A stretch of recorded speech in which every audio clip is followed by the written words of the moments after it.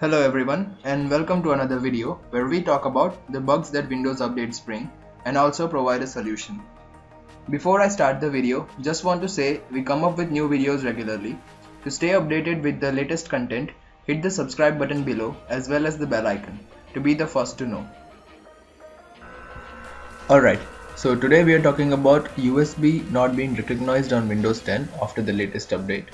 So some of you are trying to plug in your USB devices, maybe pen drive, maybe your cell phone, and you are not able to detect it on your system. So today we are going to fix that. Uh, so first step you need to do is go to your search bar over here and type down device manager. And when you see an option like this, click on it. A window like this will open up. Search for Universal Serial Bus. It's USB. What stands for and you will be looking at a list of devices or drivers over here. And you will see a symbol that will look like this. It's a yellow warning sign. So you need to look for the signs and you need to click on the ones that are there and right click it and click on update driver. When you click on update driver another pop-up will open up. Click on search automatically for updated device driver software.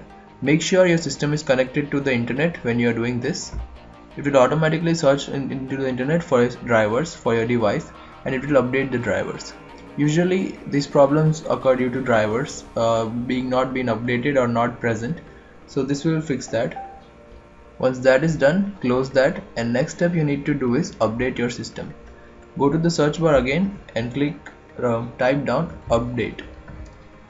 You'll see an option that says check for updates. Click on it a window like this will open up and over there you will see a button that calls says check for updates.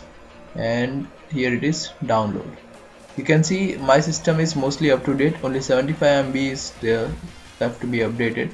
I'll click on download and it will complete it as soon as possible. So this was all that was needed to help you regarding the device uh, USB device I hope you liked this video. If you want me to keep making such videos, please show your love by hitting the red subscribe button below. Thanks for watching. See you in the next video.